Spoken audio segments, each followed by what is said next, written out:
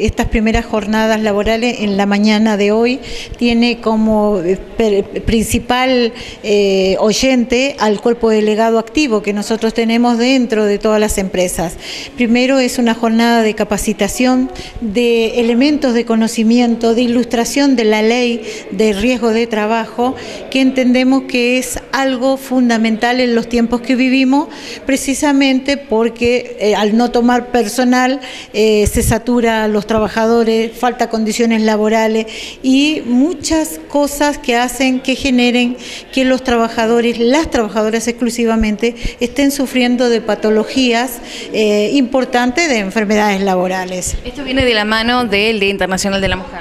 Sí, la verdad que eh, este, este, estas primeras jornadas son en, en conmemoración del Día de la Mujer Trabajadora, por eso es que lo que se hace es llenarla de conocimiento, de elementos elementos cuál es, dónde está la figura de las enfermedades laborales, qué responsabilidad tiene una empresa y su ART, qué responsabilidad tiene una obra social y qué responsabilidad, qué derecho y qué conocimiento tiene que tener realmente el real afectado, que siempre es el trabajador, la trabajadora. En este caso, nosotros lo hacemos en el marco del Día de la Mujer Trabajadora, ¿por qué?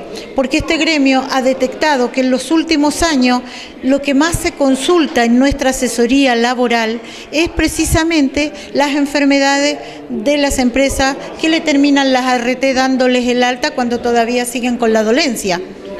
Esto interesante entonces para destacar que no solamente para la, para la trabajadora gastronómica.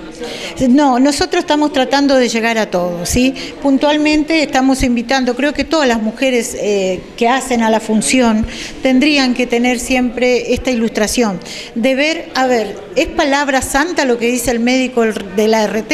No, ella tiene la posibilidad y el derecho de consultar a otro médico y tener otra opinión. ¿Es la empresa solamente la que puede denunciar el accidente laboral? No, ella tiene el derecho de hacerlo ella personalmente. O sea, todo es darle, brindarle estos elementos, no solamente a las mujeres gastronómicas, en general a todas las mujeres que tienen relación de dependencias.